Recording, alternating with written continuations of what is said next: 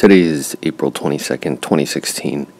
You're looking at a video of objects alpha and beta. It's a very short clip because these things show up only briefly, but they arouse some curiosity for the brief moment that they do show up. Dotted yellow is the big yellow sun, and though it doesn't show up in this frame, the little white sun is located in the center of it. Object alpha is small and located to the 11 o'clock position where object beta is at the 9 o'clock position.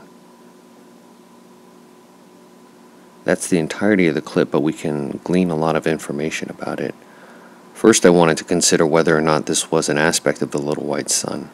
I concluded that it is not because, number one, the type of light is different. It's of the yellow kind of light and not like the little white sun.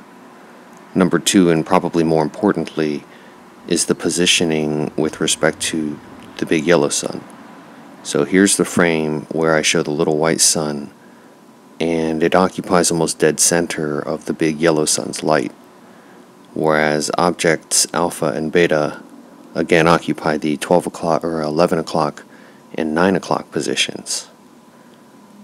I next consider whether or not the appearance of alpha and beta could be a result of cloud illusions. Because the circular shape persists even while clouds are moving across it, I reason that they are not an aspect of the clouds. So even if there were a circularly formed hole in the clouds, it doesn't make sense that the object would not move in relation to them. Now what else do we know about objects alpha and beta? Well, we know that it can't be a camera artifact and the way that we know this, I'm going to play this clip, very short one, three times with different filters, is there's a moment where, or there are several moments rather, where the clouds are both under and over the object, seemingly at least. So we know it can't be a camera artifact. Number two, we know that it is dimmer than the big yellow sun because when the clouds aren't there, you can't see it. Its light is almost completely obscured and I had shot for another minute or two after that, unable to find alpha and beta again. So it seemed as if it were subsumed or just made unviewable because of how bright the big yellow sun is.